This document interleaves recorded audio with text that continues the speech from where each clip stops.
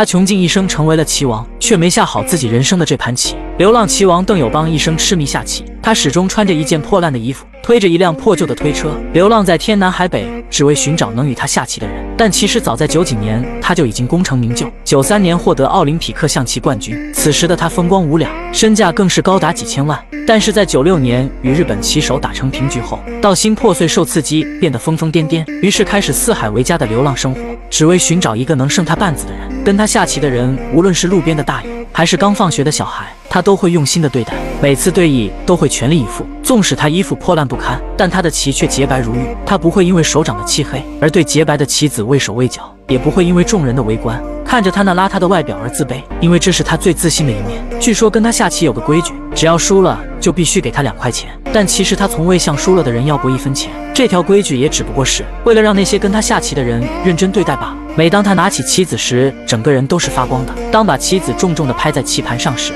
像是与对手博弈，也像是与过去的自己博弈。在如今这个满地都是六便士的社会，他却抬头看到了月亮。他看似疯癫，却又比任何人都清醒。世人都说他没下好人生的这盘棋，但你又怎知他没下好呢？他只不过是没下出你们想看的棋罢了。人生如棋，落子无悔。诸位，观棋不语，才是真君子。